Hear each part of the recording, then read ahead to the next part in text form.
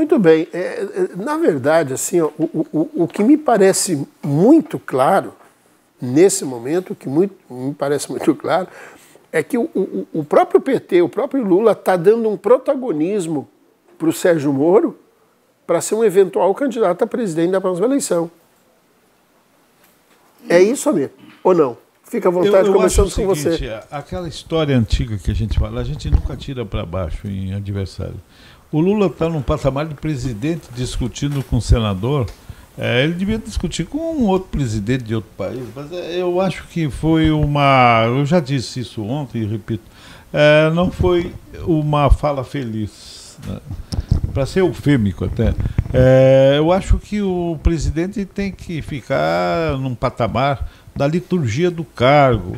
É, não pode, é, não, não convém, não é próprio descer a minúcias é, com relação ao senador, o que ele pensa, o que ele, o que ele imagina, é, porque na verdade essa história ela pode até ser uma farsa do, do Moro, mas a Polícia Federal constatou que havia preparação de atos que podiam culminar com a morte é, do Sérgio Moro e a família.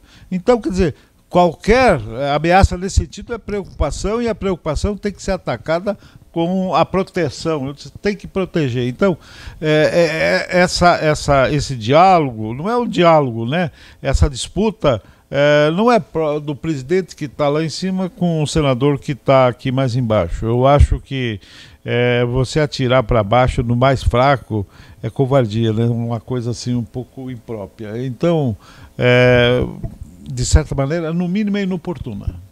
Essa fala é inoportuna. Então, eu acho que todos estão aconselhando. Quem tem bom senso aconselha. Quem é amigo aconselha a andar no caminho reto e não é, é aqui trazer assim aquela palavra, não, tá certo, tá certo. Não, nada disso. Tá errado, tem que dizer, olha, não é por aí, não é por aí, presidente. E eu acho que mais ou menos todos os amigos dele é, estão falando. Eu falaria isso, eu já disse isso ontem, já declarei isso ontem. É, não precisa colocar lente de aumento também. Isso para fazer no país do que ficar é, criando. Não, não, claro, eu acho que também não dá para botar uma lente de aumento. Eu disse ontem, quer dizer, há um ânimo jocante há uma, uma brincadeira nisso aqui. Há assim um pouco de. Mas não se brinca com coisa séria, né? Quer dizer, então. Não é que ele dissesse que afirmou. Pelo contrário, depois diz, não, vou esperar a apuração que vai chegar ao final. Então, vamos, eu acho que isso tem que ser relevado. Deslizes né? até falei isso ontem, muitos cometem. Nós mas não os deslizes, deslizes do Fagner. Né? É, do Fagner. É. É, mas eu acho o seguinte: aconteceu isso, vamos relevar. Isso não é também alguma coisa, e eu, eu até acho que merecia uma explicação. Olha, vamos encerrar esse assunto, porque a minha intenção não foi aqui é, menosprezar ninguém, né? não foi nada disso, ofender ninguém e ponto final. Ponto final, Ricardo, sua vez. A Mirlando, eu acho que não é ânimos jocande, não. Eu acho que o ânimos ali é o necande é a vontade de matar. Essa organização não, não, criminosa... Há uma diferença grande de Não, atitude. entendi. Mas ah, eu já estou parafraseando. Eu sei que você foi para um extremo, de uma, de mas eu acho que não é essa forma. Mas a, no meio está a virtude. É, a intenção ali, a vontade mesmo era de matar o, o Moro. Agora, o que me deixa, sabe, muito, muito revoltado é, é, é a postura, é, é nítido a frustração do Lula Sabe? Quando, quando chegou essa situação, ele ficou tão frustrado. É como se ele falasse, cara, não deu certo. O PSCC não conseguiu fazer o que eles queriam fazer. Matar o Moro, a sua família, não deu certo. Era visível, era nítido o olhar de frustração do Lula. Agora, isso é um absurdo, um presidente da República. Porque a fala dele é de alguém que estava frustrado. Ele colocou que o, a armação. Armação do quê? Quem é que bola uma estrutura, uma armação para prejudicar a família? Para prejudicar ele mesmo? O Moro foi tratado como. O Lula ele trata o Moro como uma pessoa física, como alguém que tentou ferrar ele. O juiz, juiz federal, os tribunais regionais, Tribunal Regional Federal, são órgãos. O juiz federal é um órgão não é uma pessoa física ali. Ele representa o Estado. Então ele não tem um pingo de re re respeito. A fala do Lula é uma fala de alguém que quis ser pre presidente da República para um projeto de vingança, um projeto de pegar e colocar os seus comparsas nos cargos de alto escalão para ganhar fortunas, valores exorbitantes, estratosféricos. É isso. Ele quer, ele quer é, colocar ah, os companheiros, os comparsas dele bem, deixar todo mundo bem para poder ganhar salários absurdos e o pobre aquele que ele ah, de fato, né? Eu vou até falar aqui o pobre que o Lula sempre usa. Eu volto a dizer, ele gosta do pobre. Ele gosta tanto, Moisés, do pobre que ele está replicando, que ele está multiplicando o pobre no Brasil, de tanto que ele gosta do pobre. Cada vez tem mais pobre no país porque o Lula adora pobre. Ele vai fazer com que esse país, a cada dia, tenha mais pobre. Muito bem, seguimos agora. Antes de eu chamar o, o Samuel, eu quero explicar uma coisa aqui para pro, os senhores. Porque aqui eu estou com três advogados no programa e um futuro advogado. Né? Então, eles usam a linguagem de, de direito que muita gente não entende. Então, ânimos jocante, como disse o ilustre, o ilustre é quando alguém né, ofende outra pessoa, denigre outra pessoa em tom de brincadeira, né, para que os nossos amigos possam entender, porque eles se entendem, porque é um termo jurídico, agora muita gente não sabe. É, ilustre Samuel sua.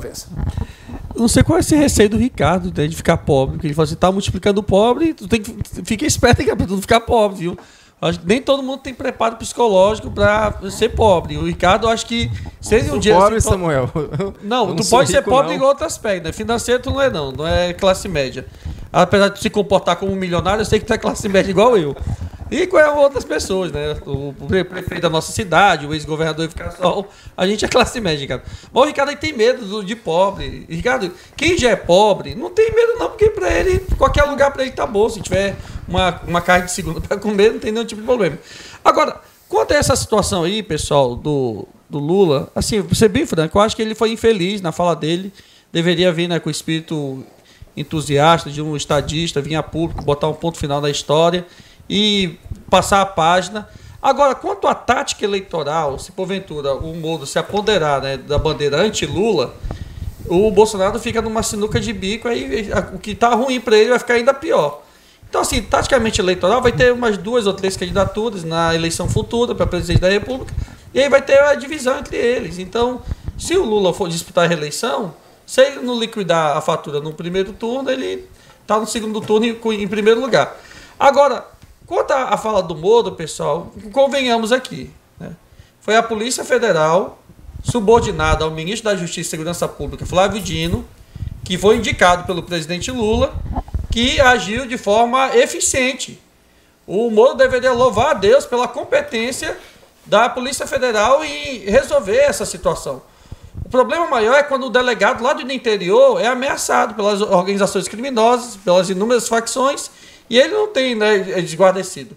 No dia que o Moro tomou posse, um mês após a posse do Lula, que foi no dia 1 de janeiro de 2023, no dia 1 de fevereiro do presente ano, ele já foi protegido pela. Né, blindado por integrantes da Polícia Federal, da BIM, etc. Monitoro ele quase que 24 horas.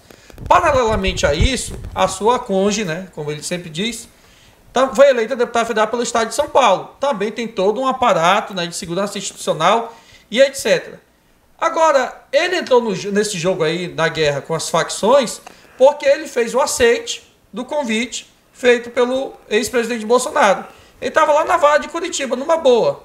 E aí, do nada, ele, né, sem habilidade política, foi dar uma de xerifão, né, migrado, juntado os dois ministérios, Justiça e Segurança Pública, ele achou que era o bad boy, né, e achou que tinha um peito de aço. Agora, imaginemos bem, pessoal, Imaginemos se o, o Moro não vira senador da República e a sua conge não vira. Conja. Não, é conja, né? E fala conge, né? É deputada federal. Daí está nos Estados Unidos, dando palestra lá, é, consultoria para empresas que é, fizeram né, a repatriação de recursos de empresas investigadas por ele. Então, ele, ele resolveu assumir esse risco. Né? Eu tenho um amigo meu, pessoal, que é o Coronel Vital, que levava uma vida franciscana, né, dentro do bombeiro militar. E aí era, era tenente major na época do, do bombeiro militar, ia para a igreja, andava tranquilo, a sua companheira, minha amiga de faculdade, Sabrina, servidor do Tribunal de Justiça, passar desapercebido no supermercado. Hoje ele é ameaçado de morte também. E nem por isso ele ser ameaçado de morte, pelo fato de ser secretário de Segurança Pública, dever de cidadania, eu não vejo ele dando ataque de pelanca, ai, Vital, é, a facção X falou que vai te matar, ele. Que eu acho que o, o escolheu, sabendo. Da mesma forma, como vai ser com o ministro da Justiça e Segurança Pública, Flávio Dino, quando deixar de ser ministro e sair da vida pública. Esse é, é, o, é o rito. Agora, a minha solidariedade maior, Cícero, se estende aos policiais penais, policiais militares, rodoviários federais, policiais federais, delegado do interior, coitado, que ficam desguarnecidos lá, às vezes com 12 munições para combater o crime. Moisés, sua vez. É, a Polícia Federal foi desmoralizada pelo Lula, né? foi altamente atacada. E o Samuel não viu a entrevista do Lula quando ele disse que a Polícia Federal armou, junto com o Moro, essa história toda. Samuel estava elogiando aqui a Polícia Federal e o Dino, então ele não assistiu a entrevista do, do, do Lula. Que o Lula ri de, de, de, um, de, um, de um servidor público federal na carreira de juiz, que agora é senador, ri dele com as filhas monitoradas pelo, pelo crime organizado, a filha que, que fazia estágio sabia o horário, o posto de gasolina. Você queria estar nessa lista aí, meu amigo, você que está assistindo? De, de, de, uma organização criminosa que não brinca, que pode tem poder para tirar a tua vida. E os outros integrantes que foram ameaçados? A, a, a, hora que não ela saía, coisas, não? a academia que malhava o horário, os carros clonados para acompanhar a rotina do juiz. E aí, a maior autoridade da República vem lá e ri, diz: não, isso aí foi tudo armação do Flávio Dino, Polícia Federal e não, Moro. Você tá mentindo, não, Moisés. Vamos lá. Quem não, comanda, você, você é quem verdade. Comanda, quem Mostra esse vídeo aí. Tá, você tá forçando a verdade. Federal, não quer mentir, não. Você, você agora tá mentindo. Você tá Você tá mentindo. Você, você tá elogiando a Polícia Federal e Flávio Você Dino. quer jogar aqui, então, se o faça igual o Ricardo. Bota tua opinião, mas então, não vamos Não, vou botar você agora. Você tá mentindo. Bota. Bota o vídeo lá e diz que o Lula, se o Lula não afirmou que foi uma armação da Polícia Federal. Não foi uma armação da Polícia Federal? Se foi uma armação da Polícia Federal, tá Flávio Dino, que é o número um, que é o comandante da Polícia, eh, da Polícia Federal, e a Polícia Federal. Então eles foram o quê? Prevaricaram junto com o Moro? Ah, então foi o Flávio Dino então, que protegeu o Moro, foi? Não, você disse que protegeu. O Lula já disse que não protegeu. Não, mas, mas o Lula disse Federal, que não. foi um colúio da Polícia Federal com o Moro. Se o Flávio Dino é o comandante da Polícia Federal, então tá Flávio Dino, Moro e Polícia Federal juntos, ah. em colúio. Então foi esse que salvaram o Moro. Não, o Lula não disse que salvaram. Samuel, você já entendeu? Quem, quem prendeu os caras do PCC, quer, quer saber? Telespectador, você já percebeu que Samuel quer enrolar vocês, né? Não, porque eu quero saber quem Samuel foi que fez um elogio pra Polícia Federal, fez um elogio. É lógico. Aí o Lula, o Lula não concordou. O Lula disse que a Polícia Federal estava manipulada pelo Moro. Mas cadê Se esse, a, Não, vídeo quem, tá o vídeo, vá procurar. Cadê o vídeo? Mostra não, aí. procure o vídeo. Não, tem tá tu falando aqui. Tu falou que não é pra gente acreditar em ti? Todo mundo viu o vídeo. Dá a fonte aí. Então vamos lá. Eu não vi não. Segundo o próprio presidente Lula, não houve nenhum trabalho da Polícia Federal para proteger Moro. É uma manipulação. Se é uma manipulação seguindo o raciocínio do presidente Lula, Flávio Dino e a Polícia Federal e o Judiciário estão se, sendo manipulados pelo Moro. É esse é o raciocínio da maior autoridade da República. Esse é o pensamento dele. Não, agora, é o teu pessoal, raciocínio, Moisés. Agora, pessoal. É tu que tá falando A que ponto nós chegamos e nós temos um mandatário não, inclusive ele já foi pedido hoje para ele ser incluído no inquérito da fake news. senadores já entraram na, na, na, na, no STF para que o ministro Alexandre de Moraes bote o seu Lula no inquérito da fake news, porque sabidamente ele sabia que não era falso.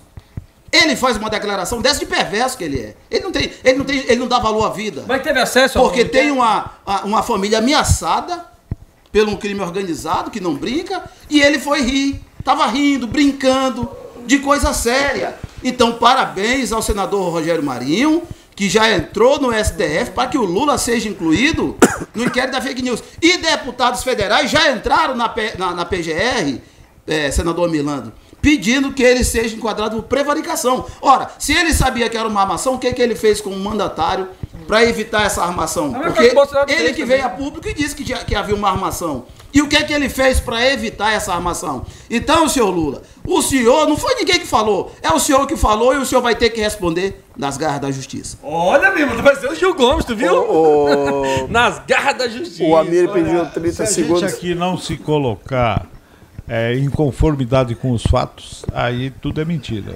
Aí a nossa discussão é, é inútil. Então, o que eu quero dizer aqui, o que o Lula falou, que era a armação do Moro. Com do quem? Moro. Não, do Moro. O Moro não pode armar nada só. Não, mas ele falou, mas ele pode armar porque ele levou lá para a juíza da, da, a Gabriela substituiu lá em Curitiba e levou que ele estava sendo perseguido. Mas a Milano, se ele faz uma fala dessa, ele está dizendo que a Polícia Federal é corrupta. É. Não, não, não. Se, ele, não, se o Moro tem esse, o poder sobre a Polícia Federal para ponto de ser uma armação, não, tá dizendo que tá. Que ele e falou... a gente tem que deixar claro aqui para o telespectador não, não, que a, a Polícia Federal é uma instituição de Estado, não de governo. Fato não tem nada a ver com o Flávio Dino que ah não protegeu o, o Moro, não tem nada a ver. a Polícia Federal ela faz mais alto, trabalho eu independente. Nós vamos a Polícia aqui. Federal faz o trabalho que o Lula falou, a armação não é da Polícia Federal, era do Moro. Qual seria a armação? Que o Moro é, fez essa denúncia para a juíza e a juíza mantinha esse, que substituiu ele, que era uma serviçal dele. Que é para ser impedida de é. analisar esse, esse então, objeto. Então, o que aconteceu é o seguinte: é, o que o Lula quis dizer que o Moro que inventou a história. Mas a Polícia Federal constatou que havia esse movimento. Agora, vamos analisar com sinceridade. Será que quem quer matar faz todo um, uma, uma encenação dessa, é, até quer dizer, aluga uma casa aqui, faz ali. Será que. Isso se chama crime que... organizado. Por isso que o nome não, é crime, crime organizado. organizado. mata logo. É o crime é, organizado. Mata logo. Não, ele não, ele não faz logo, assim. Eles se preparam. Essa encenação. Eles se preparam. A Milano, mata sem medo. Não. Mata sem medo. Gastaram mais de 2 milhões gastaram mais de 2 milhões só se é, preparando. É, é, então... Eles não são levianos, o nome já diz, crime organizado. eles têm uma estrutura, oh. eles têm armamento pesado, não, até maior que a polícia. Não, Quanto a isso aí, pessoal, não espera seguinte, toda. É porque as pessoas estão misturando com a do Marcola, que a família tava, tinha 60 milhões numa poupança, uma coisa assim, e estavam tirando dinheiro para fazer a retirada do Marcola. Isso é, um, é uma coisa. A situação do Moro, pessoal, não ficou evidenciado, não. O Ricardo tá falando. Que, eu já ouvi falar que é 3 milhões. O Ricardo falou que já diminuiu.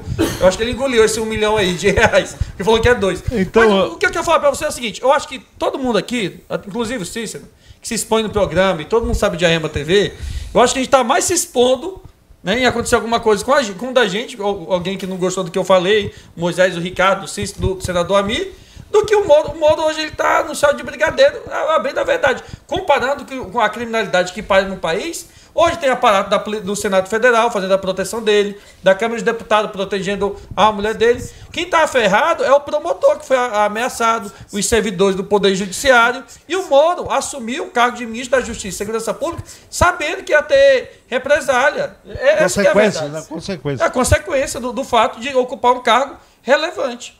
Eu, para terminar, sobre... terminar Cícero, só uma, uma palavra. Eu, eu entendo que deve ser protegido o bolo, deve dar toda de... a segurança e espero que Deus o proteja e que não aconteça nada, absolutamente nada. Agora, a incolumidade física, psicológica dele é fundamental, porque senão vai parar uma interrogação: quem mandou matou? Não, não haverá morte, não pode haver morte, eu tenho certeza que haverá toda a proteção e nós temos que ter, a nação inteira, essa preocupação.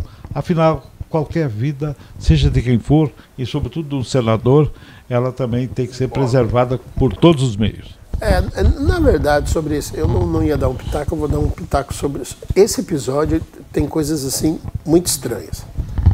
É, primeiro, o, o, PCC agindo de, um, de, um, de, um, de uma maneira que não é não é não estou dizendo que não agiria, mas não é a característica do PCC agir desse jeito, dessa forma. Preparar três anos, porque isso, porque isso, gente, isso começou. Vocês que o, o, ele mata logo? Não, isso começou lá em 2018 Foi. com o promotor de Presidente Prudente que, que tirou é, Marcola de uma cadeia de São Paulo, mandou para outro lado, Fernandinho Belamar, entendeu? Esses líderes de facções o alvo é o, seria o promotor. Eu, eu, eu que sou jornalista, eu ainda não consegui entender né, Essa marola. O, o Moro no meio dessa história, entendeu? Tá de laranja, assim, né, é, agora, o, o, o, que, que, o que, que se. A possibilidade que tem, como quando o Moro assumiu o Ministério da, da, da Justiça, da, da Segurança, né, da, da, da Justiça. É, exatamente. E ele, ele, ele proibiu também o negócio de visitas, de visitas. Então, Pode ser que isso os caras já estavam ali. É, né? Agora, só que o PCC levar três anos é, é, é, o crime organizado, mas eu não acho que seja tão organizado assim Mas enfim. Não é tão bom. É, é, é, eles não me parece Vai que. se o- arrepender. é, né, não me parece que o PCC faça alguma coisa nesse sentido. Não, vamos esperar daqui a três anos. Mas é, é- é que isso tem que ser explicado, entendeu? Porque senão fica uma retórica de que tentou matar, de que mandou. De hipótese é, só, né? É, e ninguém, tem, ninguém sabe da, da história. Ninguém sabe do, do, do, do princípio disso. Né? De- de- enfim, como que começou tudo isso? É preciso para que as pessoas possam entender todo o princípio dessa história lá de 2000, é, novembro de 2018. Pelo, pelo que eu acompanhei, não era matar o ministro. Era um sequestro de um familiar do ministro em troca de uma autoridade do PCC. Era uma troca e não um assassinato do ministro. graças a Deus, ainda bem que Pegava. Um familiar do ministro, que estava é, analisando É, a e aí- filha. e a negociava a e liberação do Marcos. É, e É. fazia a troca ali. E, e o que que motivou isso? Aí tem as gravações que a Polícia Federal pegou, que são as transferências por regime dis- disciplinar diferenciado, e também a questão do, do, do, do ministro ter sido bem rígido com eles, né? Então foi. Gente, vamos falar a verdade